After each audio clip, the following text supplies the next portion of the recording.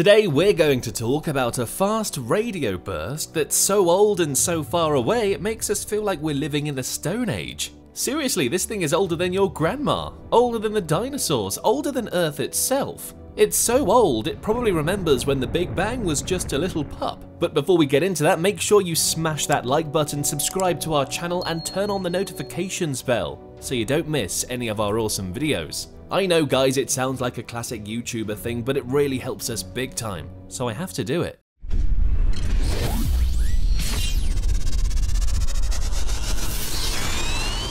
Alright, let's get started. So what is a fast radio burst, or FRB for short? Well, it's exactly what it sounds like, a very short and very intense burst of radio waves that comes from somewhere in the sky. These things are so powerful they can release more energy in a millisecond than our sun does in 30 years. That's like a billion times more powerful than a nuclear bomb. And they're so mysterious we don't even know what causes them. Some people think they're from alien civilizations trying to communicate with us. Others think they're from black holes or neutron stars colliding with each other. And some others think they're just glitches in the Matrix. Yeah, that totally makes sense, right? Just kidding. Uh, or am I? But whatever these freaky radio flashes are, they're like finding a needle in a haystack.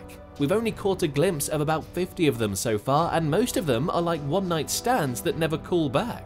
But some of them are more loyal and they keep coming back for more. And that's how we can stalk them and find out where they live and what they do. And that's exactly what a bunch of nosy astronomers did with the oldest and most far out FRB ever found. This FRB was detected by a radio telescope called ASKAP in Australia on June 10, 2022. It was named FRB 2022-0610A, which sounds like a boring password you'd use for your email account. But don't let that fool you, this FRB is anything but boring. It's actually very special because it came from a galaxy that's about 8 billion light years away from us. That means it took 8 billion years for the radio waves to reach us, which means we're seeing the galaxy as it was 8 billion years ago. That's more than half the age of the universe. And what did this galaxy look like back then? Well, according to the astronomers who spied on it with a giant telescope called VLT in Chile, it looked like a party of two or three galaxies that were getting it on.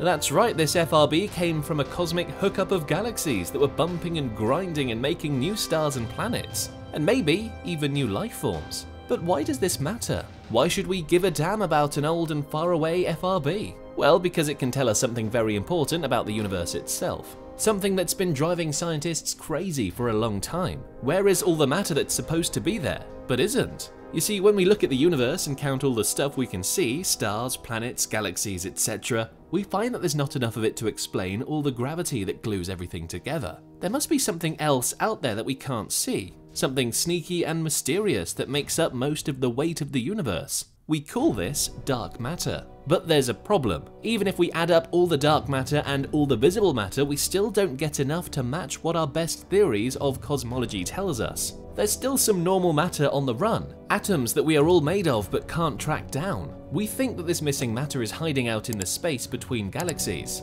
Gas that is so hot and so thin that it doesn't show any signs of life. It doesn't emit any light or radiation that we can detect. But guess what? Fast radio bursts have a special talent. They can sniff out this gas. Even in space that's almost completely empty, they can spot all the electrons that are drifting around. And by measuring how much these electrons mess with the radio waves as they zip through space, we can figure out how much gas there is between galaxies. And that's exactly what these astronomers did with FRB 2022 not again, just look at the screen, it's too long. They used this FRB as a cosmic ruler to measure how much gas there is between us and its source galaxy. And guess what? They found out that it matches perfectly with what our theories predict. There's no missing matter after all. This is a huge discovery because it confirms one of the most basic things we need to know about the universe. How much stuff there is in it and where it is. And it also shows that fast radio bursts are amazing tools to explore the universe and its history.